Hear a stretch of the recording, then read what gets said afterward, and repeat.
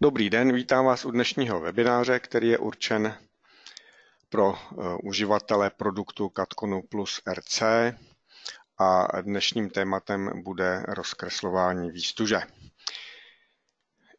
Je jasné, že uh, nějakým způsobem uh, již jste schopni rozkreslování výstuže vytvářet, pokud jste již s Katkonem pracovali.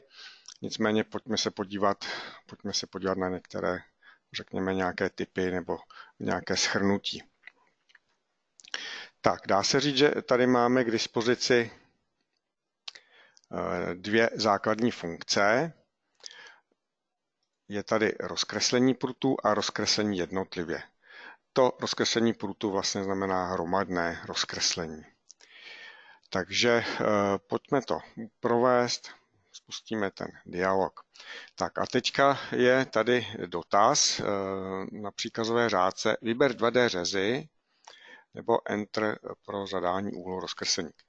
Já nyní ukážu ten výběr eh, těch 2D řezů. To znamená, že já vlastně chci vytáhnout tu výstuž, kterou vidím právě vlastně v tomto pohledu třeba na tento trám. Takže já vyberu, dejme tomu, ten eh, červený obdelníček tak, tím se mi zde nastaví, eh, že, je, že vlastně budu vykazovat jenom ty položky, které jsou vlastně v tom řezu. No a tady u toho trámu, který jsem si teď vybral jako příklad, eh, já budu chtít eh, zobrazovat jenom tu výstuž, kterou vidím vlastně, kde vidím ten tvár v tom řezu. A to mi zajistí tady tohle zatržítko, pouze pruty rovnoběžné s rovinou řezu. To znamená, že tady vlastně ten třmínek, který je vlastně kolmo na rovinu, tak ten tam nebude rozkreslen. Takže eh, to je tady tohle, eh, pouze pruty rovnoběžné s rovinou řezu. No a hm, pak tady ještě toto zatržítko položku kreslit pouze jednou. K tomu já to ještě zruším a hm, možná se k tomu ještě vrátím. Tadyhle mám vlastně hm, položku číslo 5 a ona je vlastně tady symetricky umístěná, vidíte, že je i zde. E, takže když e, tedy e, provedu to ten výběr těch dveřů, tak vlastně mám tím možnost vlastně zobrazit to rozkreslení i tak v té poloze, jak tam jsou ty umístění ty pruty. No a já už to nyní udělám. Tady ještě směr rozkreslení, to znamená těch 270 stupňů to vlastně můžu takhle ještě znova ukázat.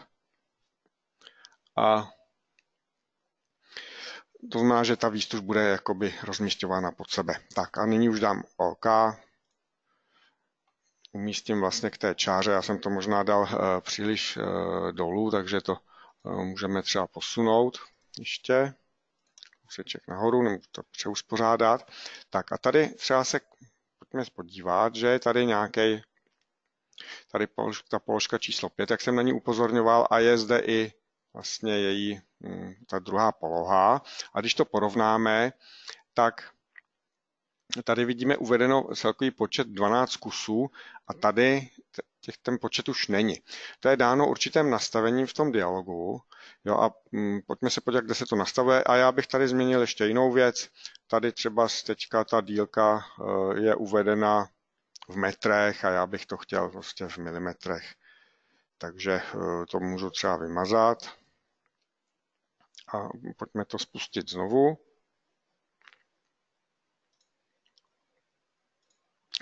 Takže znovu vyberu. Tak a tady se můžeme podívat na to nastavení eh, popisu a hladin položek. Takže tady vlastně jsou dvě varianty. Tvar popisu za číslem položky, to je, hm, to je vlastně jakoby to pro to první rozkreslení a pro to opakující druhé a následující je jiná varianta. Jo? Co se tady jedná, že tady máme vlastně tu, tu dílku, já tam vyberu uh, tuhle tu masku, nebo tenhle ten tvar popisu a tady máme pro to opakující a tam je to vlastně bez toho počtu, počtu kusů. Takže tady potom klasicky eh, ten dialog vlastně znáte i pro popis výstuže, nějaké parametry toho popisu a teď to umístím sem. A je to. Takže úplně stejným způsobem by se to dalo udělat tadyhle mm, pro ten pro ty třmínky, které vidíme a zase, když to takto vyberu, tak tam mám krásně takhle vloženy. Nebo um, já tady hned vlastně při této příležitosti ukážu to rozkreslení um, jednotlivě. Uh, to lze pustit teda přímo takhle z ikonky, anebo je také možné uh, kliknout vlastně a přes pravé tlačítko myši tady máme rozkreslit prut a pokud já to vlastně vezmu, tak můžu takhle vlastně jakoby umístěvat i ortogonálně, pokud mám zapnuto, můžu to umístěvat takhle tímhle způsobem, což je eh, relativně výhodný.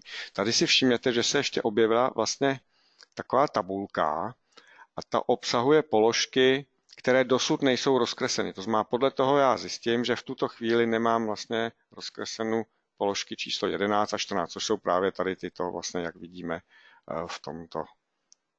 Tak a teď, a teď můžu ještě třeba tuhle a vlastně teď jsem to vlastně provedl eh, pomocí toho eh, manuálního manuálního rozkreslení.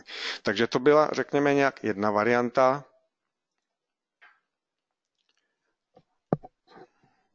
Jedna varianta. Teď mi tadyhle přišla zpráva, že je nějaký problém se zvukem. Jestli mi to můžete znova potvrdit, jestli mě slyšíte a vidíte, no, asi ten zvuk je nějaký možná problematický, jestli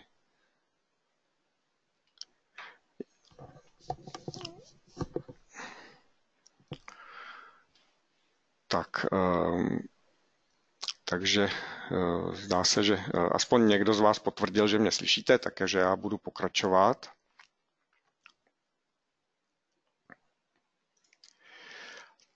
Tak, eh, tak já mám připraven pro vás ještě další příklad.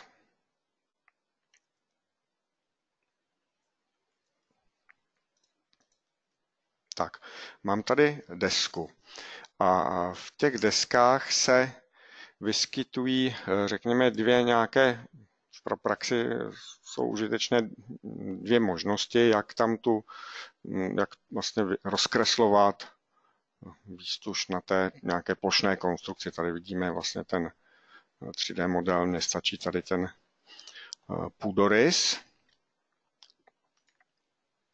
Takže znova dáme rozkreslení a jaké jsou teda ty obvyklé dvě možnosti? Takže hm, ta první možnost je, že dejme tomu tu výstuž, kterou mám v ose, rovnoběžnou s osou x, tak tu já chci umístit takto pod, pod tu desku a tu výstuž, kterou, která je vlastně rovnoběžná s osou Y, tak chci ji umístit takhle třeba doprava od té desky. Takže zase vlastně ta výstuž má být jakoby orientována podle eh, té desky, takže já to, já vyberu ten 2D řez. Tak, eh, tady samozřejmě musím vypnout to rovnoběžné s rovinou řezu. A naopak já si tady zaškrtnu rozkreslovat ve dvou směrech. No a mm, zde může být ještě užitečné provést to, nebo zkontrolovat si tady to nastavení natočení e, popisu prutu, protože abych řekněme měl, eh, pokud vlastně ten prut bude vodorovně, tak aby vodorovně byl ten popis a když ten výstuž bude vlastně svislé, tak i rovnoběžně s tím uh, prutem třeba to bylo takhle. Tak, takže to umístíme. Zase mám tady tu čáru, od kterého se to bude umístěvat sem a sem a vlastně vidíte, tímto způsobem jsem vlastně rozkreslil ty, ty položky. Takže to je, eh, to je tato varianta. No a někdy ovšem někdo to chce mít prostě pěkně pod sebou, všechno umístěno, takže hm, to je, to si ukážeme tu druhou variantu u těch desek, jak se to dělá.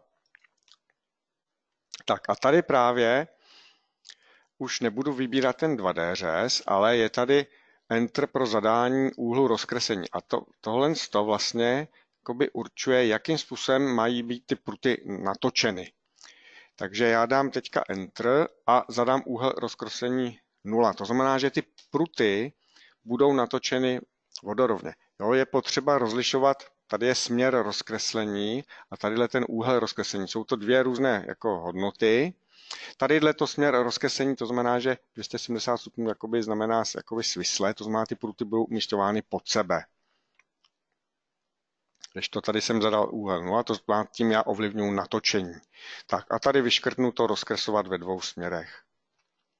Tak a umístím to třeba tímto způsobem. Takže mám vlastně tímto způsobem takhle jaksi uh, zarovnány pod sebe. No a hm, tady vlastně na závěr k tomu uh, rozkreslování té výstuže uh, bych chtěl vlastně ukázat těm, co vydrželi tady v tomto webináři sem až do tohoto místa. Možná jste si všimli, že já teďka tady mám puštěnou verzi Katcon plus 2020. Eh,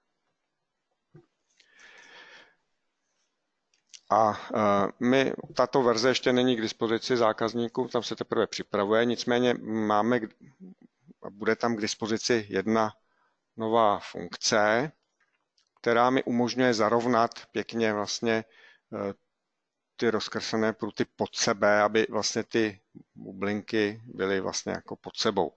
Takže ten příkaz já ještě ho nemám v menu, takže ho napíšu takhle na příkazové řádce.